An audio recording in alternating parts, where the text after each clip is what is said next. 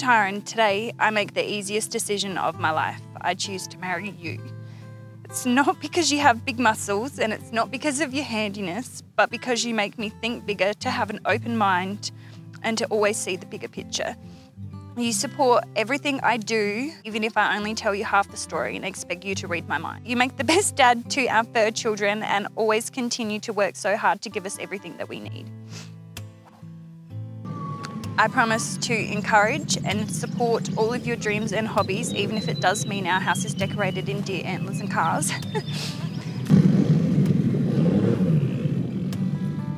I promise to always go on new adventures with you and the fur babies, even if it does mean 5am wake ups on Sundays.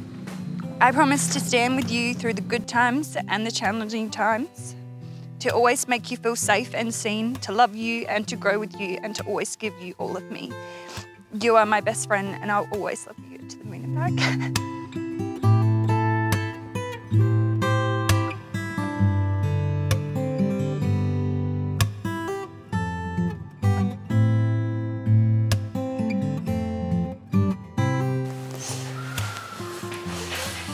oh, wow.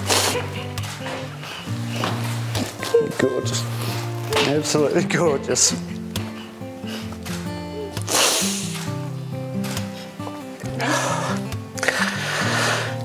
Don't do that to me. Wow, stunning. Absolutely stunning. Call me Dad. Katie, I'm a very lucky man to be standing here in front of you today. Love everything about you your infectious laugh, your smile, your urgent need to get in your pajamas. your loving, caring spirit shines through. You wear your heart on your sleeve, but you have another side of you that you can't help but respect and love. I'm very grateful to you that you put up with my craziness and not be able to sit still. But even more grateful that you agreed to marry me. As we move forward with life, I promise to support you and do anything I can to make your dreams a reality.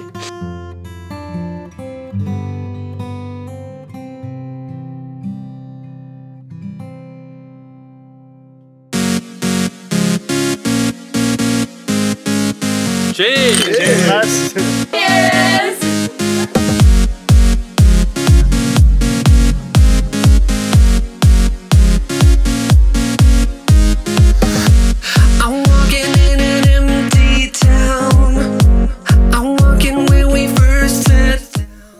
All right, hello everyone.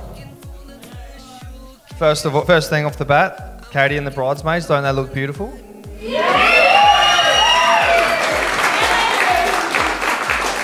It bodes well for me that one of them is my wife. And the groom, groomsmen, looking quite dapper, I might say.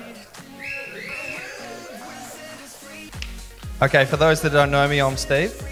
I've been friends with Tyron since about year 12 of high school. I still, I still remember when I first saw him. Jesus, that, that sounds like it should be our wedding.